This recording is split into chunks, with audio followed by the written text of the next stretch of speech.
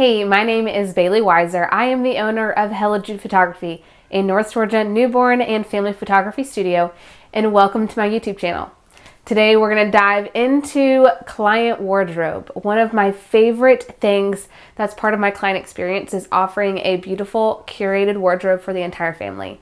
So in this video, I'm going to share why I started having a client wardrobe, some of the benefits to it, where I source my wardrobe pieces from, and how I go through the process of choosing outfits for my families. So let's dive in.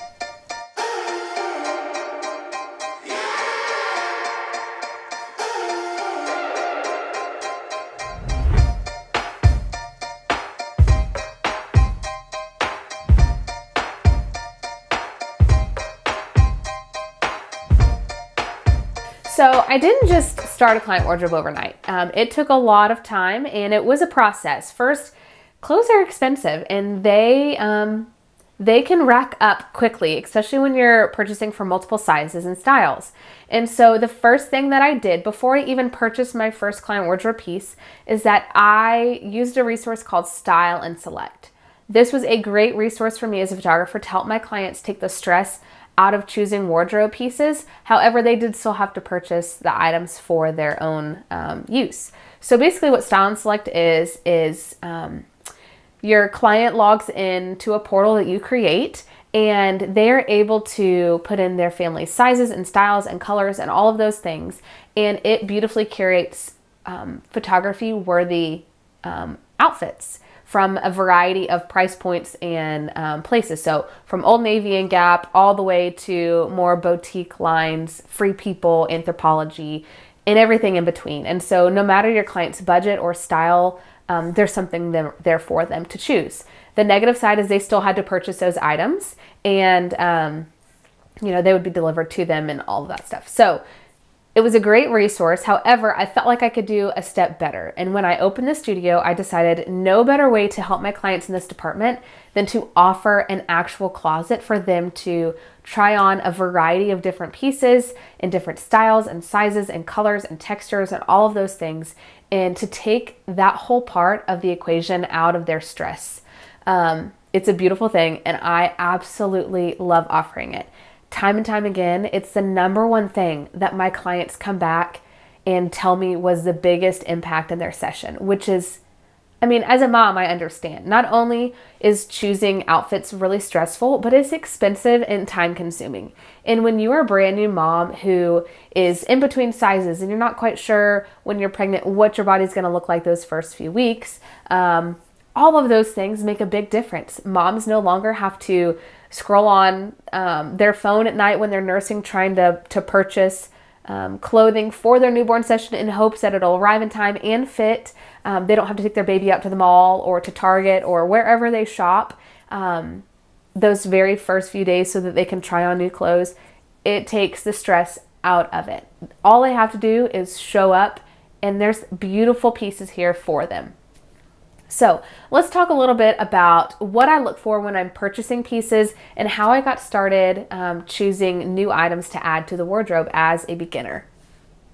Anytime that I'm adding new pieces to the wardrobe, there's a few things that I think about. Number one is color. Number two is pattern. Number three is texture. Number four is neckline. Number five is waistline. And number six is length. So with these things combined, um, it's really helpful for me to be able to choose um, pieces that I know will fit well in my wardrobe that my clients are going to choose. I have a variety of kind of different styles and textures um, because moms are not all the same in their style and their aesthetic. And so I like to have some things a little more casual, some things are a little bit more fancy, and a lot of things in between because that's really where most of my moms um, lie. So let me show you, for example, a few of the wardrobe pieces that I love and why I love them. And this might give you a good idea of some things to look for when you're trying to source new pieces.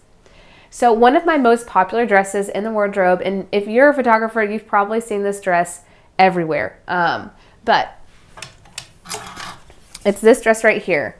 Um, this dress I actually found on Poshmark, but I think the original source for it is Red Dress Boutique or Morning Lavender. They both have this dress. Um, it's the Ayaka. I am probably pronouncing that incorrectly, But um, it is beautiful. It is a, um, a plunging neckline, which for most of my postpartum moms, I do have to add a pin or two um, if their chest has grown quite a bit, uh, but that does not show in photos. It's this beautiful, soft, um, almost chiffon material with a really cool long sleeve. So a couple things of why I love this dress. One, the pattern is not distracting. Um, it's subtle, subtle enough so that it photographs beautifully without drawing all of your attention away from the subjects. Um, the sleeves are really nice and flowy, which is not a cool texture um, to add in the images. The neckline um, is low, but it's still you know, it's not super, super low where I can't pin it. Some of these that are really low, you have to wear tank tops underneath or uh, particular bras, where this one, I can just add a pin or two if it's a little too low for the mom's preference and it's not that big of a deal. Number one thing is the waistline. I'm to say this over and over again, but the waistline is probably the most important thing because postpartum moms don't want to have really tight um, material against their stomach.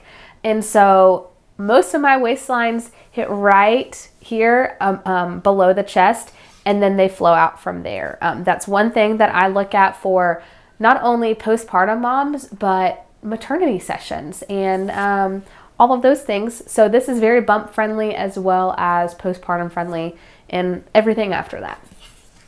That is a beautiful dress. Another one that I love, which comes in a variety of different um, patterns, is this one from Baltic Born.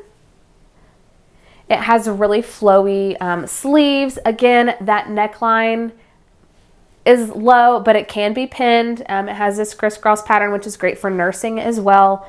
Um, waistline right below the chest. It has um, kind of a flowy material. This one has a little slit. I also have it in a couple other different colors. I have this one, it's slightly different. Same dress. Um, I feel like I have a few more that I just can't pinpoint. I do have it in some solids as well. So beautiful dress. That one's from Baltic Born. Baltic Born in general is my number one place to source most of my dresses from because they have every size under the sun. Their dresses are beautiful, they're very well made, and they're reasonably priced. On average, their dresses are anywhere between 50 and $90. But if you look on Poshmark, you can find them pretty much usually brand new, some with tags um, for a fraction of the price. So Baltic Born, I love. Another Baltic Born dress that I love and another pattern is this one. I love how the sleeves are sheer, um, but it has these tiers to it. So a lot of my dresses also have tiers. Um, that's another really fun texture thing to think about. You can see this one the texture right there and right there is really beautiful. This neckline is not as plunging, which is one thing that I do like. Another place that I source dresses for is a, um, a company called Show Me Your MuMu. And this is actually a bridesmaid dress company. And so a lot of um, people that were bridesmaids that wore their dress once will sell them online it's great for you because they're trying to get rid of it. You're trying to get it for a lower cost. These dresses on average are, you know, usually around $100 or more depending on the size and style. Um, but they're a nice, flowy dress. So I have this in several different colors and styles. Um, and they have all sorts of sizes. So I even go up to 3X in, in these dresses. Um, they photograph beautifully. They're very flattering on moms. Again, look for the waistline. Um, they do have some that have kind of a wrap to it. Beautiful dresses. Love those. Um, another place that I find a lot of dresses, if I can find one here, is a company called Bohme. I believe that's how you say it. It could be Bohme, I don't know, but it's Bohme. And um, smock dresses. So moms that are a little more self-conscious about their chest love smock dresses because it kind of tightens their things in. Or if they don't have a whole lot um, it adds this ruffle texture so you can't really tell that they don't have a whole lot um, in their chest. So this is a dress that i love. This is probably one of my clients favorite dresses. I have it in multiple sizes and multiple colors because it just it looks great on everybody. Um, this one would be considered a mid-length because it hits kind of ankle length. Um, but again, it's got the tiers like I talked about, sleeves, um, it's got the, the cup on the sleeve at the bottom. Just a beautiful, really well-made dress. Bohme for this one. I do love Morning Lavender. There's several dresses I have from there that photograph beautifully. This would be an example of one. Wrap dresses are really great um, because again, mom can tighten them or loosen them. They can kind of fit between sizes. So if a mom's not sure if she's a medium or large, a wrap dress is usually a great fit for them because they can tighten it to their current size. So this is one from Morning Lavender that I love. I also have um, this one is from Morning Lavender, again with the smocked on the chest. Again, waistline goes right below. This one has a fun puff sleeve, which these are really popular right now. I think they photograph beautifully, and moms can decide whether they want to wear them on their shoulders or off their shoulders, so it's really fun. Another example of one of those would be dresses from Nothing Fits But.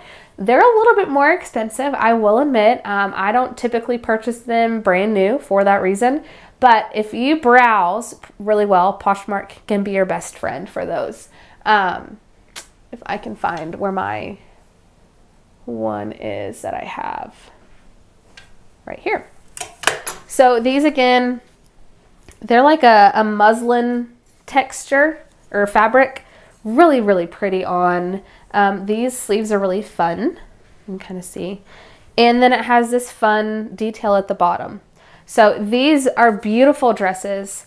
Um, they're a little bit lighter weight. And so summer sessions, these are really great because they're very breathable. Um, and they have a whole variety of patterns and textures and all that. So I do love them. They're just a little bit more on the higher price point. Um, so that kind of gives you a good idea. Like I said, my number one place that I source dresses, I do look on Poshmark a lot, but I love Baltic Born dresses. Um, I think they just fit beautifully. They have so many different styles and solids and, and patterns and everything in between. Um, another dress style that I love are these off the shoulder tier dresses. And so these are super flattering on every body type. This one in particular, you can't really see, has like a Swiss dot texture to it. So that adds a fun little flair um, to the session. But these tier dresses are really, really flattering. Um, I have these all the way extra small through 3X because they do look great on everybody and every body type. Um, so again, things to think about, texture, color, um, length, neckline, waistline, and pattern. Um, so when you're thinking of all of those things, it's really important to keep your clients in mind. One reason why I have a lot of neutrals and more pinks and blues is because I serve newborn clients. And typically my clients are going to put their images in a few places. One is going to be their living area. So neutral is really great for that because no matter what color the aesthetic is in their home, neutral images, neutral color images, neutral um, patterns, and all of those things are going to look great in any area. Um, another place that they might put their images is in a nursery. And so normally they decorate those in pink or blue. And some of my parents really love to um, add just a little bit of color to their galleries. Um, that kind of shows whether it's a boy or a girl. Um, but majority of my dresses are in more neutral tones for that reason. Um, neutral tones look great on everyone. I don't have to worry about um, skin tones being an issue when I'm photographing in white or I'm photographing in a beige color. Um, I just think it's a great, clean, classic, timeless way to photograph families um, without having really distracting patterns or textures or things like that. So the first thing that I do anytime I get a brand new dress is bring it into the shooting room of the studio and I put it on my lovely mannequin Lucille and I photograph the dress on the mannequin. There's a few reasons why I do this. One, I've created a catalog of all of my images in the same lighting in the same location for my clients to browse and it looks really clean and easy to navigate. And um, secondly, my clients can picture what the dress is going to look like on them in this environment because most of my clients choose to photograph their sessions in the studio. Now, if it's an outdoor session or things like that, I might have a few um, from past galleries where my clients have used those particular dresses outdoors and I can give them a better idea if they would like. But this is a great way for me to organize all of the images of my client wardrobe to showcase them to my clients when they're trying to decide what to wear. Um, that way, when they come into the studio for their session, they already know what their favorite dresses are. Um, most of my clients, because they are scheduling their session so far in advance and they don't know what size they're going to be, whether it's when they're you know 32 weeks pregnant, when they're doing a maternity session, or when they are postpartum.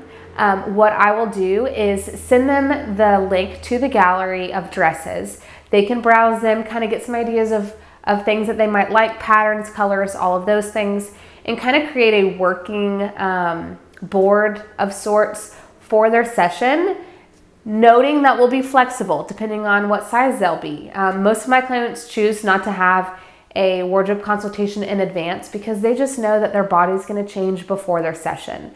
And so, as long as I have sent them um, the gallery of images of the dresses, they can have a pretty good idea of the style of dresses that they might have as an option, um, colors, textures, all of those things. And so, when they get into the studio, we already have their favorite dresses pulled and steamed and ready for them to try on and see what they like best. Um, a lot of times, moms, depending on their size, will have to add some pins around the chest, maybe pull it a little closer in the back. But making adjustments like that don't show in images. And so having that freedom and flexibility when it comes to choosing wardrobe pieces is really incredible, um, especially when you have bodies that fluctuate in so many different sizes. Um, just in the span of weeks, essentially, from having a baby in their belly to all of a sudden having the baby in their arms and not having um, a, their pregnant belly anymore. So I love having the flexibility to do that. My clients love the process of being able to see the images in advance, then be able to kind of get an idea of what they might wear and kind of envision what their session's gonna look like. Starting a client wardrobe does not have to be stressful. It is really exciting to be able to serve your clients in this particular way and to take away some of the stress that they feel when it comes to planning their session. Hopefully this video was helpful for you, whether you are beginning to start offering a client wardrobe or you're just curious. Maybe you already offer a client wardrobe and this was a great resource for you to find some new ideas of where to source items from. Stay tuned, new videos are being added to this YouTube channel every week. See you next time.